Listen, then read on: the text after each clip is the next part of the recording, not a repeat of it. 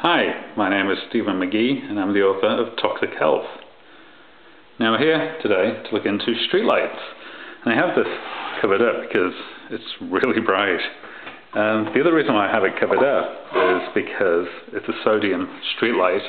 And as you can see, it's very orange. And that's very characteristic of streetlights. Most streetlights are operating sodium streetlights and they're very monochromatic lights and there's very few wavelengths of light. In fact some of them only have one wavelength of light. And that does not occur in nature. And uh, the effects of long-term exposure to sodium streetlights uh, are not very well documented by the medical profession.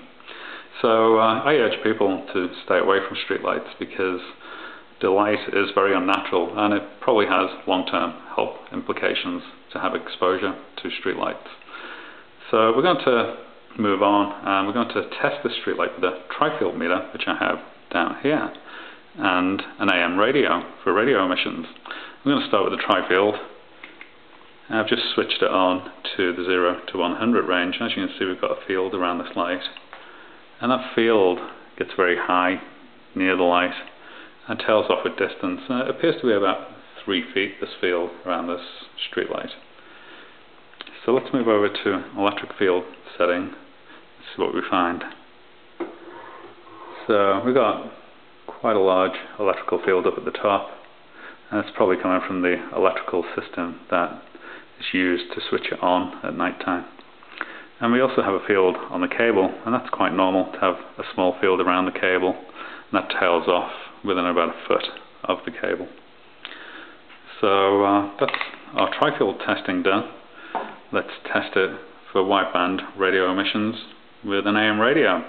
And this particular AM radio is tuned into AM 530 where there's static and we don't have a radio station. And uh, you can be tuned in anywhere on the AM band. And we're going to scan the equipment and see what we find.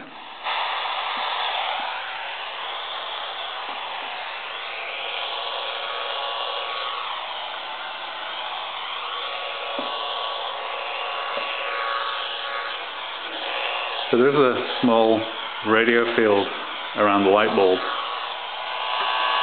and around the top of the light.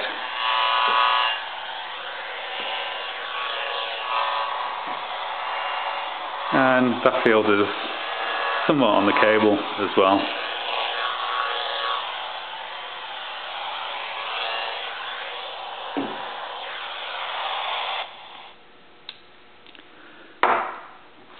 So there you have it. We do have some fields around these streetlights and uh, they also produce harmonics into the electrical system.